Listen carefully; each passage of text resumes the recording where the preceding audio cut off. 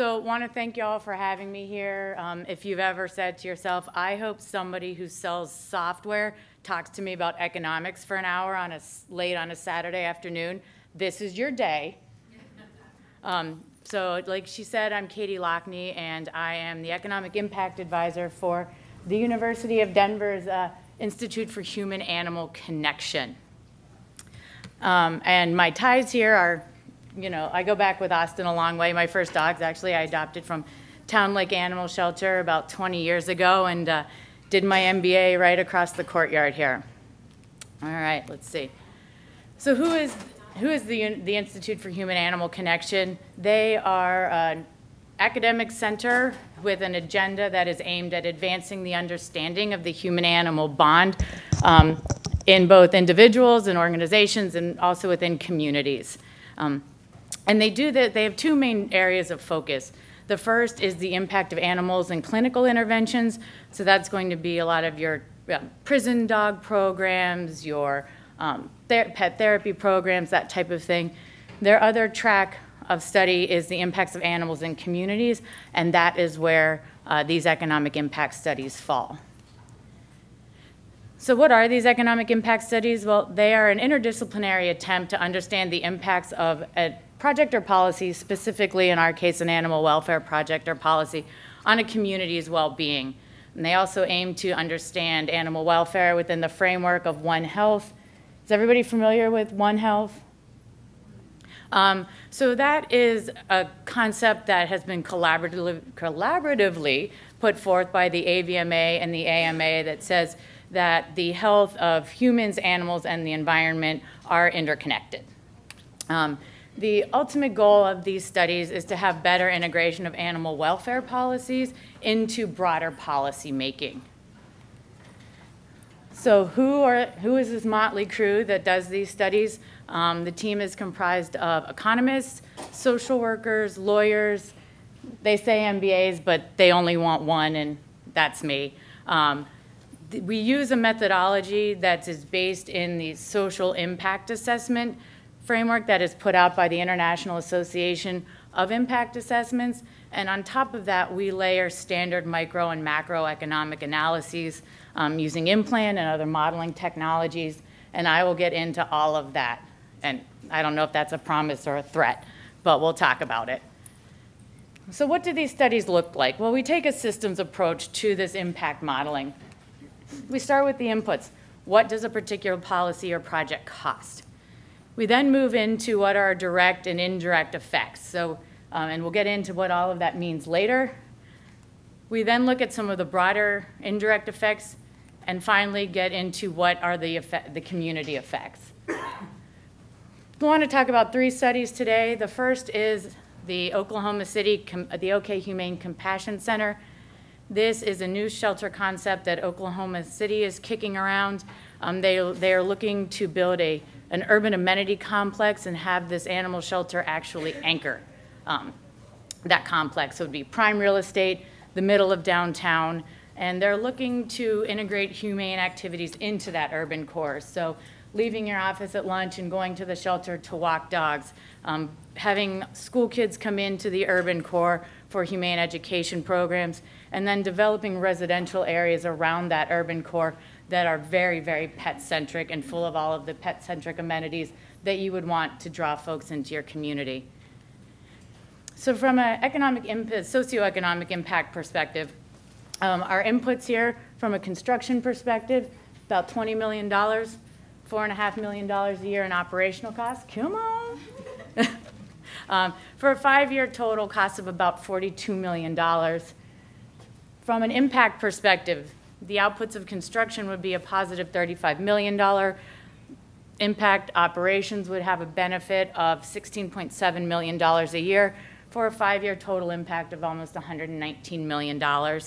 Um, again, those broader induced impacts would be, you know, that core to shore, that urban redevelopment and revitalization project.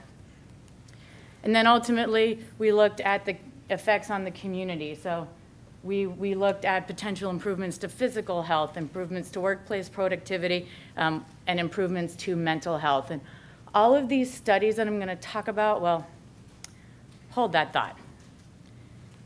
here's the great unveiling. This is a study we have not published yet. This is the first time this data has been seen by anybody. So um, this is still pretty preliminary, but we thought this would be a good audience um, to, to use this as our, as our entrance for this study. I live in Denver. Denver has breed-specific legislation since 1989. So we took a look to see what does this policy cost the city of Denver. From an overview perspective, since this has gone into effect, over 8,000 pit bull type dogs have been impounded. 5,000 of those were euthanized. We have seen 5,000 criminal citations. We've seen 2,900 criminal cases and in excess of 10 civil cases, including when the city sued the state and it ended up in the Supreme Court. The city of Castle Rock, which is just south of Denver, um, recently repealed their BSL. Their BSL was almost as old as Denver's, and uh, in May, it went away in favor of more progressive, dangerous dog, dog bylaws. So, these numbers are going to look a little different than Oklahoma City. From an input perspective, it's cost the city, just from a pure enforcement perspective, about $6 million. This does not include any of the legal costs for those 5,000 criminal citations, those 2,900 cases, or any of those civil lawsuits. Um, that is going to be actually analyzed in a follow-up study, but quick cocktail napkin calculations put those in, you know, almost into tens of millions of dollars. So who doesn't want to spend $6 million to lose 143? Like, that's solid math. Um, so we've, we've calculated the lost revenue over these 29 years to be about $142 million. We also calculated what I have affectionately coined the bad neighbor cost. So once Denver decided to stop euthanizing those animals themselves, they shipped them out to the neighboring communities and put those costs into other communities in order to get themselves off the hook. So Denver's BSL has cost other people about a million dollars. So that's a total 29-year impact of a negative $143 million. And I'm going to probably have to move back to Austin once people see these numbers. Yes, ma'am. Um, so very what very few people in Denver actually know that there is BSL when they move there. So this is we looked at revenue for um, not taking your dog to a vet in Denver. Not the, we looked at sort of the in-person costs. So you wouldn't go to a vet in Denver. You're not going to go to a boarding kennel in Denver. You're not going to go to a groomer in Denver. So over 30 years, that cost. Um, and then again, that bad neighbor cost is going to be um, what it's cost surrounding communities to take those dogs in. And this is a net cost because Denver does not take animals in return. So it is just these communities having to take those dogs. Um, the public, from a broader induced effect, the public safety promises that were made when BSL went into effect are not supported by the data. And from a community impact, we see that there is highly inequitable enforcement of these laws. Um, these laws are primarily and almost exclusively enforced in um, communities of color and in lower socioeconomic neighborhoods. So again, these, all of this information that I'm presenting today, all of the methodologies, all of the data sources are publicly available, and you're welcome, I don't want to go too deep into all of this stuff because somebody will kill me, but um, you're welcome to take a look at those and follow up with us um, if you want all of the dirty details. So this is the study that I think most people here are interested in that I want to dive into the most. Um, this is Austin's no-kill resolution uh, passed in 2009, mandated that 90% live release rate. It involves a formal partnership between Austin Animal Center and Austin Pets Alive. There's substantial community engagement um, for this initiative, and uh, the common criticisms of no-kill have not been borne out by the data. Um, and the one, the first criticism we'll talk about is the one that probably everybody here faces is it's going to cost too much money. This is too expensive for a community to try to do. So as a quick look for the socioeconomic impacts of this initiative, um, we've calculated a no-kill premium of about $30.4 million and we'll dive into all of these numbers in more detail, again, in, in a few slides. the outputs of this, from an operations perspective, a veterinary and pet care perspective, as well as a retail perspective, is it has an impact of about $115.3 million. We then calculated what, uh, what we call brand equity, the, the, the benefit of being known as a pet-friendly place. Um, and that calculation from the, over the course of 2010 to 2016 came out to about $72 million. So that is a net seven-year impact of $157 million. And then from that community perspective, um, what we looked at and what I'll talk about, improvements to public health, social capital, as well as community engagement. So brief history of No Kill, if anybody's not familiar. Back in the mid-90s when I moved here, Austin's live release rate was about 15%. Um, pet friendly was not on the top 100 descriptors of this city. Um, so in 1997, they passed a resolution that they called the No Kill Millennium. And that resolution aimed to um, basically get to no kill by 2002.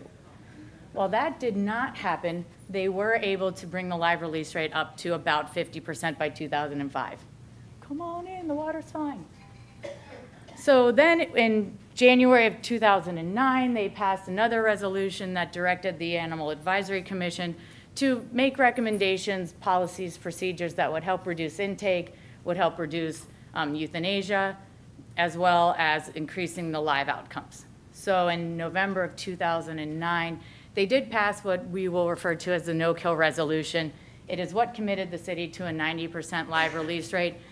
And possibly more importantly, it called for the immediate moratorium of euthanasia of animals. So um, in talking to Mike Martinez, who was the mayor pro tem at the time, who put this into effect, um, they passed it on, you know, say Thursday afternoon and Friday morning, 8 a.m., that was it. Um, that is probably one of the biggest criticisms that um, has been leveled against the city of Austin and how this was rolled out.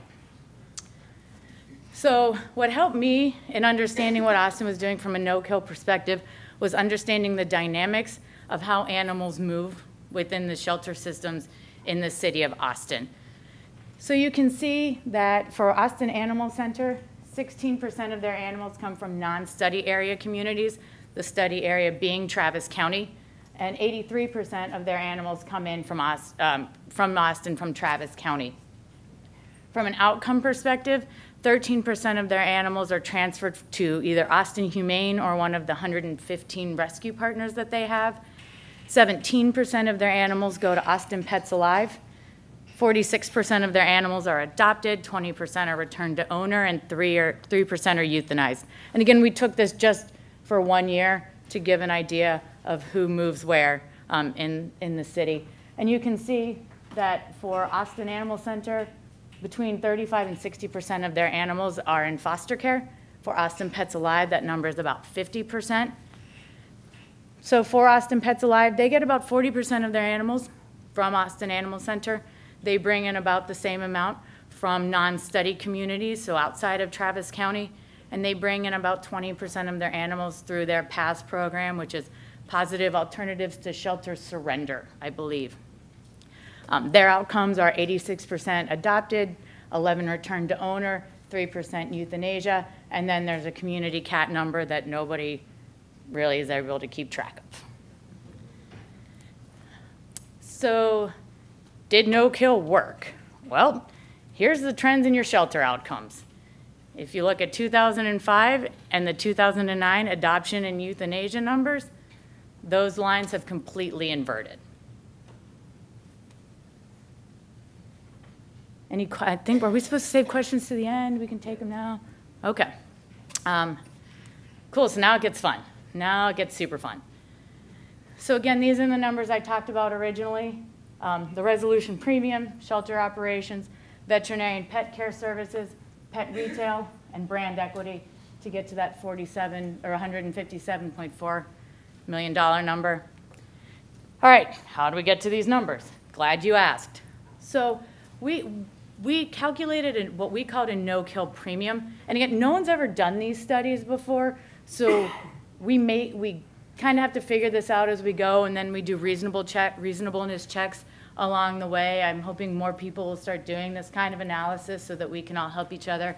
Um, But we calculated this premium, because clearly there's a cost um, to doing this to the city. The first option that we took was looking at the cost per intake from, two- uh, per animal from 2005 to 2009, looking at that same number from 2010 to 2016, um, subtracting them. So the average cost per intake went up about $265 post no-kill, and multiplied by the 128,000 animals that came in to Austin Animal Center over those seven years, comes out to about $34 million. The next approach we took was to do a city comparison, and I'll get to the cities on the next slide, but we looked at five cities, Austin being the sixth, and looked at their average cost per intake. And it turns out that Austin's average cost per intake is $208 more than the average of those five cities. So using that calculation times 128,000 animals, that came out to $26.7 million.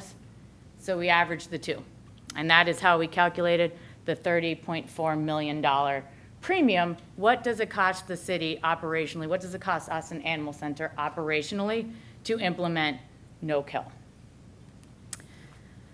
So these are the cities that we use to do this comparison.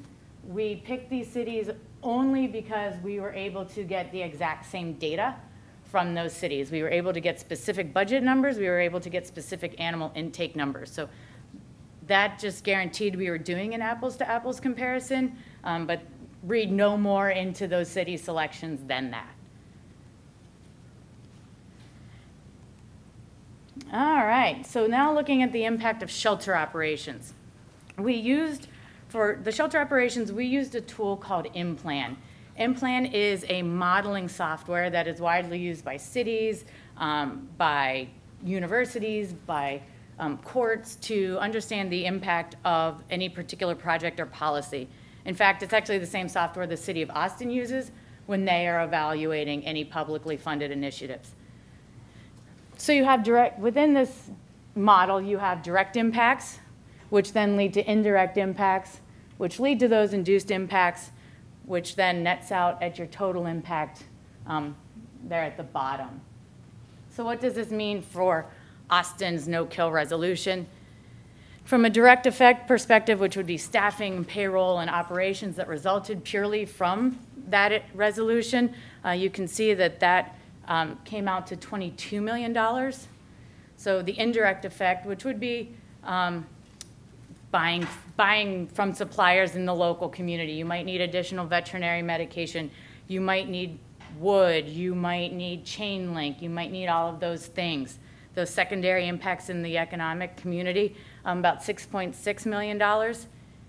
Then we get to your induced effect, which is the operations requiring labor services beyond the initial suppliers. So this would be um, people move to this community, they need realtors, they need accountants, they need pediatricians, um, they need wait staff, they need vets. So that came out to $12.2 million over those seven years for a total impact to the, to the community of about $41 million. And I do want to note that all of these calculations that we do, we are as conservative as we can possibly be. So when we calculate, when we took into account the effect of Austin Animal Center operations, we only included 3.9% of their output.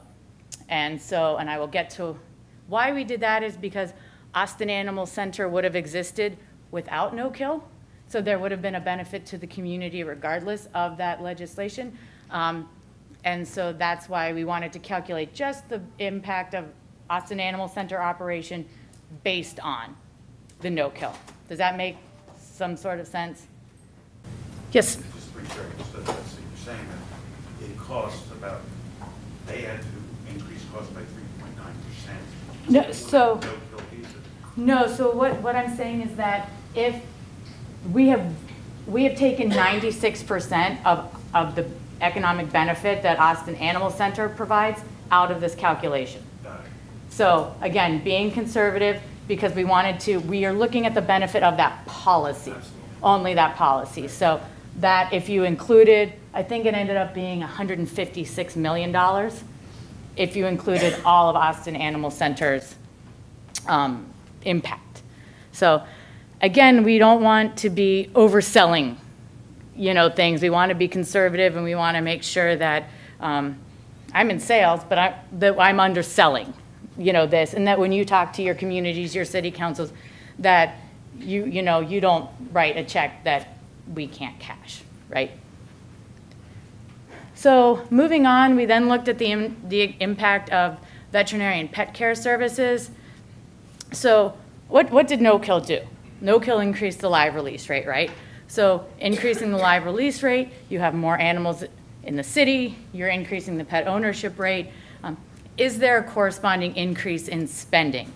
Um, How do you test that? Well, we took the county data and we took industry data. So we took vet care and pet care has its own industry code.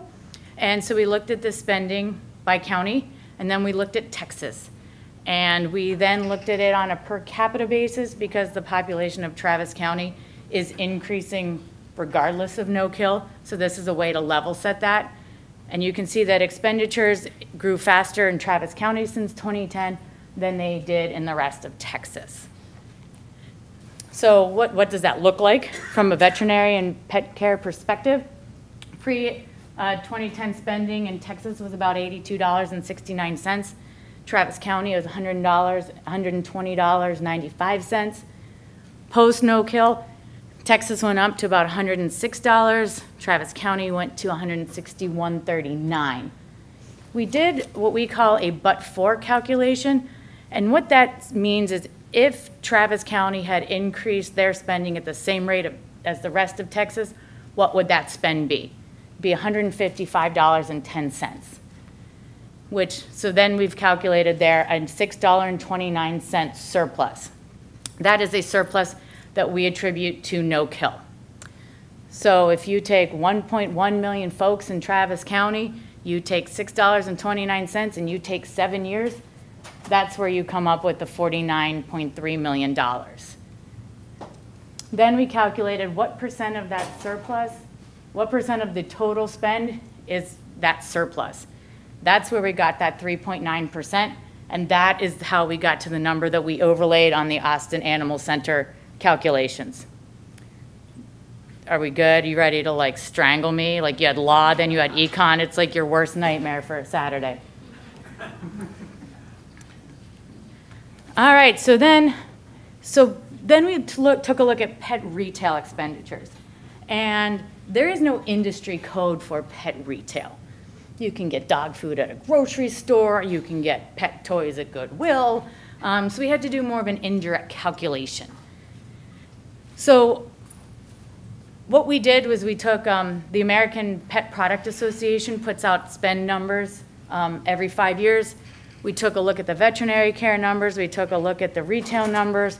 We calculated what percentage of total spend that was, and based on that $49.3 million for veterinary care, we came out with a no-kill impact of $25.3 million in the retail space. So, like I mentioned, we have not done this before. No one's done this before. So along the way, we do what we call reasonableness checks.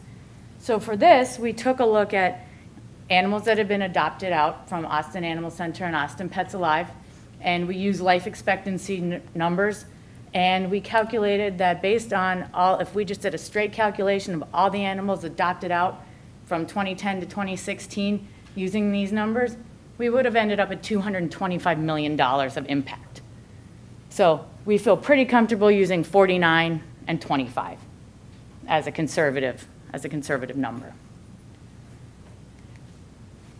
So then moving on to the final calculation, uh, thi- this is totally new. This, brand equity is actually a new space um, completely. It plays off of the idea, if anyone's familiar with the idea of consumer product good brand equity, why you buy a particular brand versus another brand, why you buy that brand at one store versus another store, why when they lose your credit card numbers, you go back or you don't. Um, so it's, it's relevant when a specific activity or project is essential to the identity of a region, not only to attract folks in the short term, but also to build long-term demographic and financial growth. So in this study, we looked at the increase in pet friend, in, uh, in population due to pet friendliness, and that was a survey that we put out uh, through the Chamber of Commerce. And then we looked at how much money was spent in the economy because those, based on those people. So how does brand equity function in a community? So as it pertains to Austin, um, almost 64%, I mean, I'm old, so I use, I, when I came out of college, I got a job and I had to move there. It didn't matter where it was, that's where I went.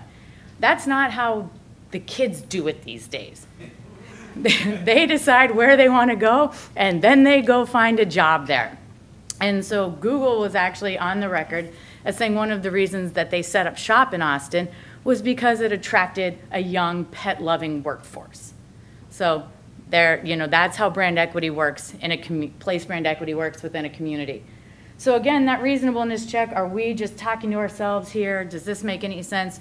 We did a, a statistical analysis of the Google search, um, search terms for Travis County and found a, a very high correlation between the searches for pet friendliness and apartments for rent. So they, you know, people here, people are coming here, they're looking, pet friendliness is a driver for them. No kill signals that social awareness, which then signals a key demographic, right? So creating pet-friendly environments in your community can attract your community's ability to attract people instead of having them go maybe the next town over. This slide is going to kill me. Um, so let, let, me net this slide out for you. Um, what we did here is we isolated who's moving to Austin. And once we isolated who was moving to Austin, we looked into why they were moving here. So the American Community Survey um, puts out a sur does surveys of communities to understand why people are moving, um, where they're moving, and it turns out that 10% of folks here are moving for a reason other than school, work, or a job. Um, so we took that 10% of folks, and then we multiplied that by the 15% of people who responded to the Chamber of Commerce survey saying that Austin's pet friendliness was a driver in their decision to move here. Um, that lands you at about 1.5% of total net migration to Austin. And assuming a $60,000, you'll see there, uh, $60,000 annual income, the spend of those folks in the last seven years comes out to about $72 million. That's how we calculated the brand equity. Anybody? Well, no one's run out, so cool. Um, so that ends the number portion uh, of this, which I know is probably super exciting. Um, but looking into some broader impacts of no-kill in the community, I'll, most people are probably pretty familiar with the studies around um, companion animals and the correlation with improved health, improved mental health, improved social health, if you will. Um, so I'll, I'll, leave that with you. Um, but want to talk a little bit about this idea of social capital. Um, social capital is a mechanism that captures some of those informal transactions between individuals in a community that can actually amass a larger economic benefit. Um, the increased presence of companion animals in a community can act as a social bridge and enhance community cohesion. Um, studies indicate that keeping pets is associated with social contact and civic engagement. Um, part of what we looked at in, in both Oklahoma and Austin, people who, and this is mostly pertains to dogs, but uh, you know, cats as well. Um, pet owners are 57% more likely to be engaged in their communities, and they're engaged in community initiatives that benefit the entire community. So we're talking about things like sidewalks, lights, open space. That's what we were talking about when we talk about social capital. Um, Neighborhoods that have people out walking dogs are perceived to be friendlier than neighborhoods that don't have people out on the streets. And we find that communities that have high dog ownership rates have lower crime rates because people are on the street, people are the first things to notice when something is off. Cars shouldn't be parked there, mail's piling up, what have you. So um, so those are the type of community benefits that amass from having more animals in a community that don't necessarily hit anybody's P&L, right?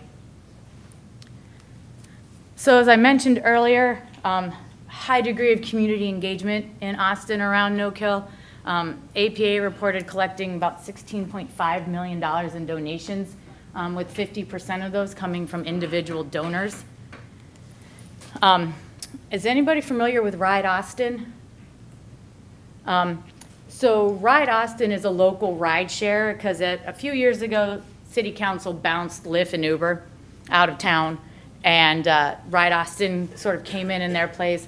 And at the end of your ride, you have the option to direct a donation from Ride Austin to a charity, a local charity. And APA is the most popular charity um, in that, in that ride-sharing app. They also have a thing in Austin called Amplify Austin. I believe it's coming up, but uh, it's about 700 charities, and it's a big push for you know one of the larger fundraising days. Um, in 2017, APA received a $1,000 donation match for having the most donors in an hour. They had a $5,000 donation match for having the most individual fundraisers out of all 700 charities.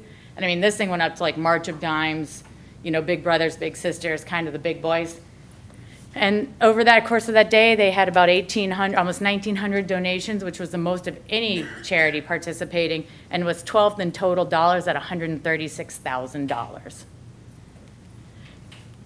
So great, they, people, people give their pennies to, you know, and, injure, and support, you know, no kill that way. This city steps up. I don't know if you remember, it seems like hours ago, when I pointed out that, you know, 50% of APA animals and between 35 and 60% of Austin Animal Center animals are in foster care. This is a city that shows up and actually takes those animals in. This town has 2,900 approved foster homes. I believe, like, is that the largest network in the country? The largest foster network in the country? Let's go with that. if it's not the largest, it is one of the largest. Um, and APA had a 2,600 volunteer hours in, or volunteers in 2016, donated about 115,000 hours. Austin Animal Center had volunteers donating 49,000 hours. Okay, so then when I told people I was doing this study, they're like, oh God, so beyond the money, like, oh, Katie, it's terrible. You do not want to do no kill. You're gonna have strays, you're gonna have, you know, mean animals. It's gonna push, you know, these costs out to other communities, looking at you, Denver. Um, so I was like, well, okay, while I'm here, let's take a look at some of these complaints. So the first complaint was, and you might hear some of them yourselves, that Austin's going to be overrun with stray animals. Um, well, one of the fun things I learned while doing this study is that dead animal pickup is the proxy for stray populations.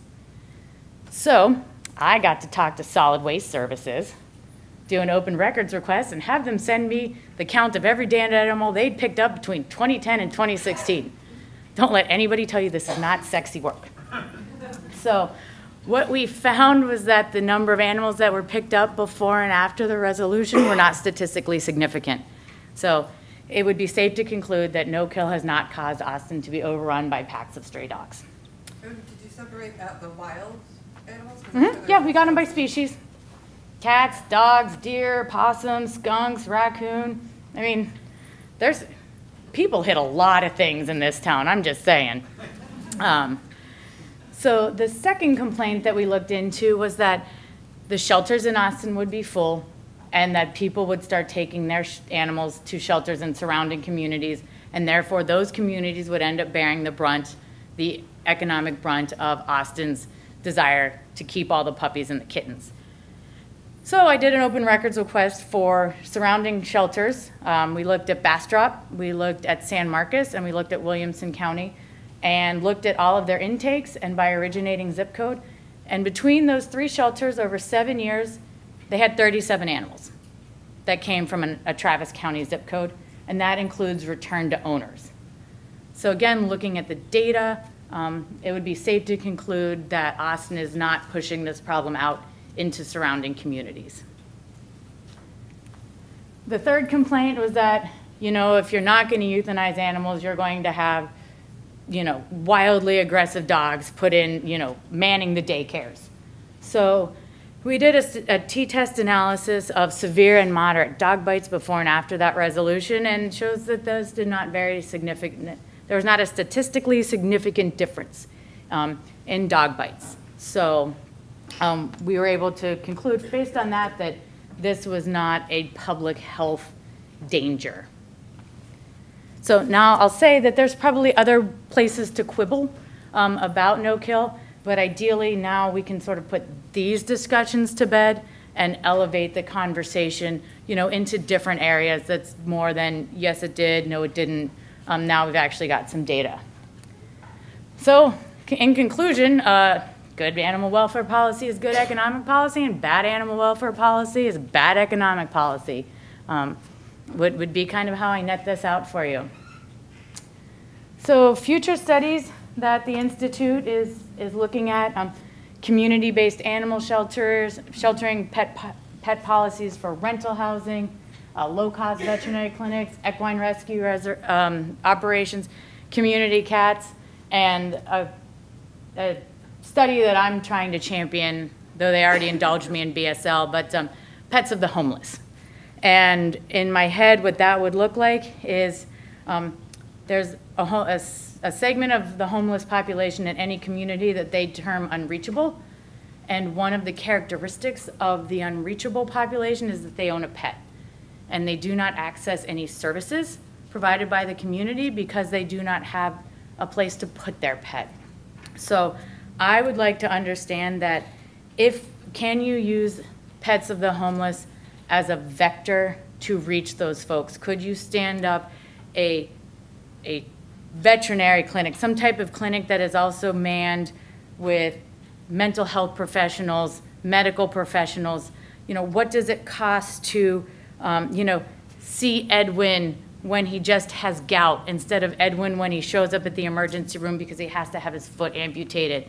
What if you can get Larry his bipolar medication rather than arresting him, you know, every 15 days? You know, from an economic benefit perspective, um, if we have better services for pets of the homeless, what does that mean to, for the economics of a community? So this is, this is the team uh, that puts these together. Um, Like I mentioned, PhDs, social work, Lone Ranger MBA, um, and also the graduate research assistants at the University of Denver's Institute for Human Animal Connection. If you thought this was all crap, you can email one of the first two gentlemen, you know, on, on this slide. If you thought it was great, my email's right there for you.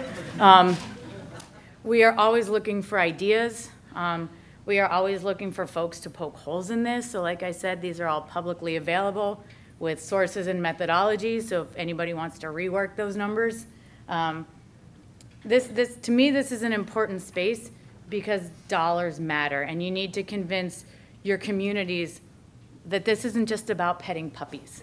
You know, this isn't about playing with kittens. This is about elevating um, the financial profile of, you know, of, of an area and how you can use animals to do that. All right. Well, thank you all. I appreciate y'all letting me come back here and stomp around my homeland.